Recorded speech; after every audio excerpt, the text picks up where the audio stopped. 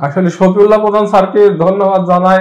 হ্যাঁ ও শফিউল্লাহ প্রধান স্যারকে ধন্যবাদ জানাই এমন ভাবে এটা মানে আমি কালকে রাত্রে গেছিলাম যে স্যার টোটাল আমি ডিটেলসটা খুলে বললাম যে, স্যার, আমি আমি কি হাঁটতে পারব? কতক্ষণ হাঁটতে পারব? স্যার আমার সুন্দরভাবে হাসি মুখে বসে উত্তর দিল যে, আপনি যতক্ষণ মনে চাই ততক্ষণ হাঁটেন, সাঁতার কাটতে পারব? সাঁতার কাটেন। আবার প্রশ্ন করেছিলাম যে, স্যার, আমি নামাজ কীভাবে পড়ব নামাজ আপনি যেভাবে সুবিধা সেভাবে পড়েন হ্যাঁ এবং শেষে শেষে উনি আমার সাথে একটা গিফট গিফট নিয়ে ছবি তুলতেন। ছবি উঠাইছেন এটাতে আমার আরও খুব ভালো লাগছে, আমি খুব আনন্দ পেয়েছি। স্যারের প্রতি আমি খুব প্লিজ আলহামদুলিল্লাহ, আল্লাহ রহমতে খুব ভালো আছে। আসসালামু আলাইকুম।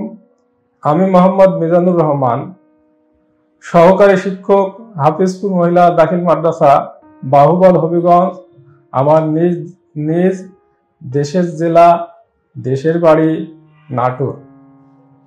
আমি এখানে এসে দশ দিন ছিলাম। দশ দিন আমি সুস্থ হয়ে গেছি। তার আগে চলুন আমরা আমার পূর্বের কাহিনীটা শুনি।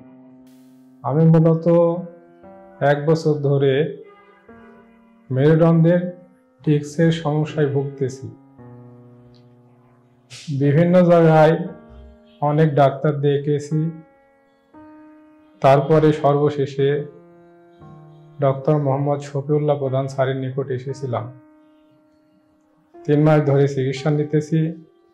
উনি আমাকে প্রথমে অ্যাডমিশন নেওয়ার জন্য বলেছিল, কিন্তু সময়ের সংকীর্ণতা সময়ের সংকীর্ণতা ভর্তি হতে পেরেছিলাম না। এখন আমি দুই দিন যাবৎ এই মেডিকেলে ভর্তি হয়ে, ভর্তি রয়েছি। দুই দিনে আমার মেরুদণ্ডের টিক্সের সমস্যা অনেক, অনেকটুকু রিকভারি হয়ে গেছে। ব্যথা নাই বললেই চলে।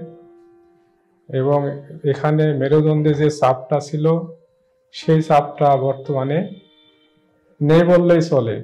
বসতে সমস্যা হতো আবার নোয়ায় কাজ করা, বিশেষ করে উজু করা, নামাজ পড়া এইগুলো করতে সমস্যা হতো। একটানা বসে থাকতে পারতাম না, আবার একটানা দাঁড়িয়ে থাকতেও পারতাম না।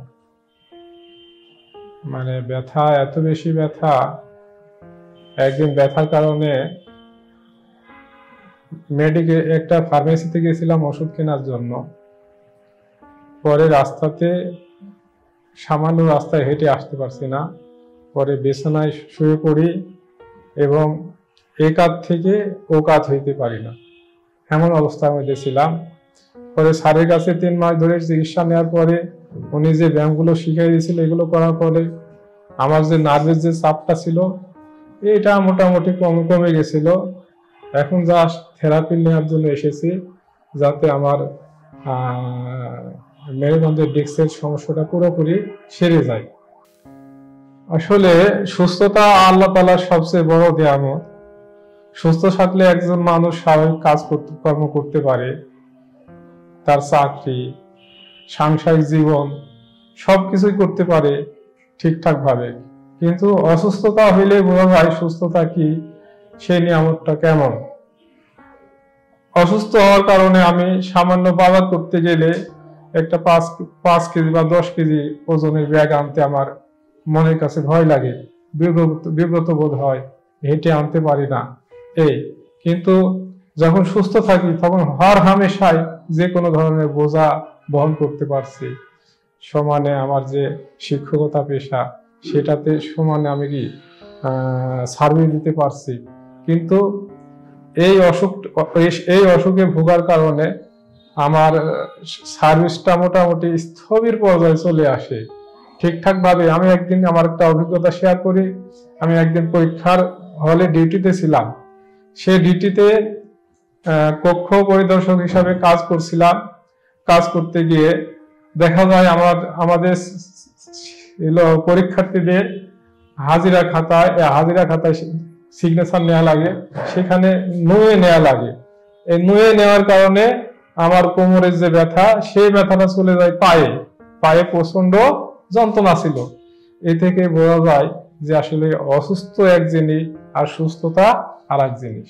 স্যারের কাছে আমি যেটা চাচ্ছি যে স্যার আমার চিকিৎসাটা যে যে আমার চিকিৎসাটা যেমন দরকার, তেমনটা দিয়ে আমার স্বাভাবিক জীবনে আমি যাতে ফিরে যেতে পারি, এটাই আমার স্যারের কাছে কামনা। সুধী মণ্ডলী, আপনারা আমার পিছনের গল্পটা শুনলেন। এখন আমার বর্তমান গল্পটা শুনুন। আর ভর্তি দিয়েছিলেন সতেরো দিন প্লাস মাইনাস ইনশাল্লাহ দশ দিনে কভার হয়ে গেছে।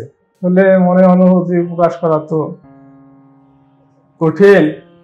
সুস্থতা আল্লাহ তালার একটা বড় নিয়ামত, যেটা আমি আবার পূর্বের অবস্থায় ফিরে পেয়েছি। এটা পেয়ে আমি অনেক অনেক খুশি যে আমি আগে হাঁটতে গেলে আমার সমস্যা হতো পায়ের মাথাতে ব্যথা আসতো। এখন সেই ব্যথাটা আসতেছে না। ফলে আমি খুশি। এবং আগে এই মেরুদণ্ড সোজা মেরুদণ্ড সোজা করে ছেড়া যে এখন যেমন বসে আছি এমন ভাবে বসতে পারতাম না। হ্যাঁ বসে থাকলে দুই, চার মিনিট বসে থাকতে পারতাম। এখন ইনশাল্লাহ সেই সমস্যাটা হচ্ছে না। ইচ্ছা করলে এক ঘণ্টা ধরে বসে থাকতে পারতেছি। হ্যাঁ এখানে এসে গতকালকে আমি চোখের ডাক্তারের কাছে গেছিলাম। একটু ভয়ে ছিলাম যে আসলে সমস্যাটা কি আবার ফিরে আসে কিনা। ইনশাল্লাহ সমস্যা ফিরে আসে নাই। চোখের ডাক্তার দেখিয়ে সুন্দরভাবে রিক্সা চলে এসে আবার মেডিকেলে চলে এসেছি। আসলে প্রথম যেদিন এসেছিলাম, স্যার "আপ- তুমি ভর্তি হয়ে যাও, তোমার কোনো সমস্যা হবে না। আমার তোমার সাথে আছি, যেভাবে ট্রিটমেন্ট করা দরকার, সেভাবে ট্রিটমেন্ট করা হবে। আমি সেটা পেয়েছি। এখানকার থেরাপিস্ট থেরাপিস্ট ডিপিআরসির আনুষঙ্গিক যে টিমগুলো, টিম সদস্যগুলো, সবাই অত্যন্ত অ্যাক্টিভ এবং অ্যাক্টিভ মন মনা মন নিয়ে কাজ করেছে। এটাতে আমি অত্যন্ত আনন্দ পেয়েছি। থেরাপি আমার থেরাপিস্ট বিশেষ করে ওনার কথা বললেই নয়। আসলে উনি সার্বক্ষণিক আমার সাহস দিয়েছে যে আপনি ফিট হয়ে যাবেন ফিট হয়ে যাবেন। আমি ইনশাল্লাহ সেই অনুসারে সেই অনুসারে ফিট হয়ে গেছি। আসলে নিজের ভিতরে মেন্টালি থাকা লাগবে যে আমি এখানে চিকিৎসা নিয়ে ফিট হব। চিকিৎসার জন্য এসেছি। বাকিটা ডক্টর থেরাপিস্ট আমাদের শফিউল্লাহ প্রধান স্যার, ওনাদের উপরে ছেড়ে দিতে হবে। এই এই মেন্টালিটি নিয়ে যে এখানে থাকবে ইনশাল্লাহ তার সুস্থতা হইতে দেরি লাগবে না। আমি এখানে আসার পরে দুইজনকে যেতে দেখেছি। আসলে তাদের সাথে তো সেভাবে আমার কথাবার্তা হয়নি। তবে একজনের সাথে কথাবার্তা হয়েছে। ওই আমি পায়ে ইঞ্জেকশন নেওয়ার জন্য গেছে, যাচ্ছিলাম। ওই ভাইয়ের সাথে কথাবার্তা হয়েছিল। ওনার হচ্ছে আসলে হাত, হাতের গিরা, হাঁটুর গিরা থেকে যাতে ব্যথা, হাত সোজা করতে পারতো না। সে ওরকম দ- বারো দিনের দিন চলে গেছে ফিট হয়ে।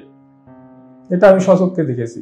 জি জি, আমার মনে হয় সেই কাজ টাজ করছিল যে আমি ইনশাল্লাহ এমন সুস্থ হব এবং এবং আমার থেরাপি যেভাবে পরামর্শ দিয়েছে আমি সেভাবে ব্যায়াম কিন্তু উনি তিনটা সেশন থেরাপি দিয়েছে। তার সাথে ব্যায়ামটা আমি কিন্তু কন্টিনিউ কন্টিনিউ করে গেছি, কোনো অলসতা করে নাই। ইফতারের পরে অনেকে ব্যায়াম না করে শুয়ে পড়ে, আমি কিন্তু সেটা করে নাই। আমি ব্যায়াম কমপ্লিট করেছি, তারপরে শুয়েছি। এর কারণে ইনশাল্লাহ আমি ফিট হতে পেরেছি। হ্যাঁ আমি এই ব্যাপারে বলতে চাই যে আপনারা সবাই স্যার থেরাপিস্ট সহ যারা যেভাবে পরামর্শ দেয়, সেভাবে থেরাপি নেবেন এবং তার সাথে সাথে তাদের সাজেশ অনুসারে ব্যায়াম করবেন। অবশ্যই অবশ্যই ব্যায়াম করবেন। ইনশাল্লাহ আপনারা সুস্থ হয়ে যাবেন। হ্যাঁ এখানকার ম্যানেজমেন্ট যেটা, আমি এটা দেখে খুব আনন্দিত। প্রত্যেকে, তার প্রত্যেকের দায়িত্ব সম্বন্ধে সচেতন। সময়কালে নক করলে প্রত্যেককে পাওয়া যায় এবং প্রত্যেকেই ওই ভিজিট সহ যার যেটা ভিজিট করার দরকার, সময় মতোই তারা ভিজিট করে। না, এখানে থেকে আমার মনে হয়েছে যে আমি একটা, আমার পরিবারের ভিতরে আমি বাস করছি। আলাদাভাবে যে আমি হসপিটালে রয়েছি এমন মনে হয় নাই। এখন আমাদের মতো যারা, আমার যেমন ছিল পিএলআইডি আমার মতো যারা আপনারা ব্যাক পেনে কষ্ট পাচ্ছেন, তারা আশা করি ডিপিআরসি ডিপিআরসি মেডিকেলে ভর্তি হবেন। এতে আপনারা এবং আল্লাহ তালা ওসিলায় আপনারা সুস্থ হয়ে যাবেন। আসলে শফিউল্লাহ প্রধান স্যারকে ধন্যবাদ জানাই। হ্যাঁ ও শফিউল্লাহ প্রধান স্যারকে ধন্যবাদ জানাই। এমনভাবে এটা মানে আমি কালকে রাত্রে গেছিলাম যে স্যারের টোটাল আমি ডিটেলসটা খুলে বললাম যে, স্যার, আমি আমি কি হাঁটতে পারব? কতক্ষণ হাঁটতে পারব? স্যার আমার সুন্দরভাবে হাসি মুখে প্রশ্নের উত্তর দিল যে, আপনি যতক্ষণ মনে চাই ততক্ষণ হাঁটেন। সাঁতার কাটতে পারব? সাঁতার কাটেন। আবার প্রশ্ন করেছিলাম যে, স্যার, আমি নামাজ কীভাবে পড়ব? নামাজ আপনি যেভাবে সুবিধা সেভাবে পড়েন। হ্যাঁ এবং শেষে শেষে উনি আমার সাথে একটা গিফট গিফট নিয়ে ছবি তুলতেন, ছবি উঠাইছেন। এটাতে আমার আরও খুব ভালো লাগছে, আমি খুব আনন্দ পেয়েছি। স্যারের প্রতি আমি খুব প্লিজ এবং তাকে আমার মনে হয়, প্রত্যেকটা সময় আমার মনে হয়, দেখলে, তারে দেখলে আমার হাসি আসে। হিউমরিস্ট হিউমরিস্ট যেটা, রসিক রসিকতা ধরনের রসিক মানুষের মতো মনে হয়। আমরা জানি আপনার প্রিয়জন আপনার জন্য কতটা গুরুত্ব বহন করে। প্রপার ডায়াগনোসিস কনসালটেশন পেইন ও প্যারালাইসিস চিকিৎসা পুনর্বাসন আমাদের সব আয়োজনই সবসময় আপনাদের জন্য চব্বিশ ঘণ্টা খোলা। আমরা চাই না আপনারা বারবার আমাদের কাছে ফিরে আসুন তবুও আমরা আছি সব সময় সর্বদা আপনাদের পাশেই। ডিপিআরসি হসপিটাল লিমিটেড আস্থা বিশ্বাস ও নির্ভরতায় অবিচল।